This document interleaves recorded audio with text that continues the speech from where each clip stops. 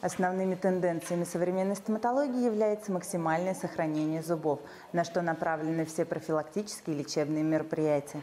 Для сохранения зубов делается практически все, начиная от раннего диагностирования кариеса, заканчивая высокохудожественной реставрацией сложных зубов. Но если эти зубы невозможно сохранить или они были утеряны еще до посещения стоматолога, то применяется наиболее передовая процедура – имплантация зубов. И сегодня специалисты одной из самых современной стоматологической клиники в городе Твери ответят нам на наши вопросы.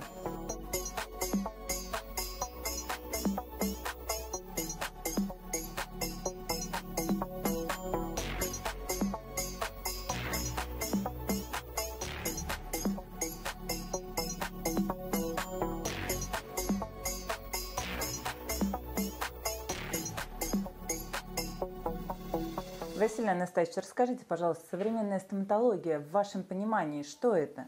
Современная стоматология, в моем понимании, это прежде всего прогноз. Прогноз качества лечения. Не просто вылечить хорошо сиюминутно, а дать пациенту гарантии. Дать пациенту гарантии на, на несколько лет вперед.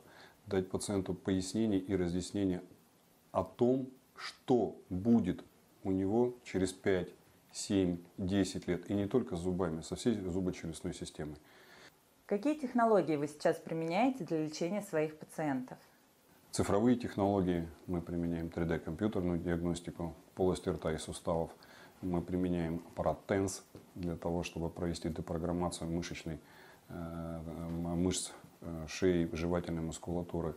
Э, аппарат Диагнокам для диагностики скрытого кариеса. Имплантация, как и вся стоматология, очень быстро развивается и очень быстро идет вперед. Если э, сравнивать те методики, которыми мы работали, э, а я лично занимаюсь имплантацией с 2000 года, э, 15-20 лет назад, то сейчас имплантация э, это методика, которая позволяет нам резко, резко сократить сроки лечения пациентов. Э, то, что раньше занимало э, полтора-два года реабилитации, сейчас занимает месяцев шесть.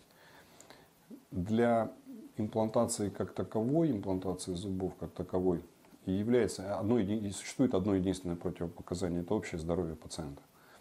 Во всех остальных э, случаях, ну в 99% случаев, мы можем реабилитировать практически любую патологию. Другое дело, сколько потребуется на это усилий, сколько потребуется на это времени.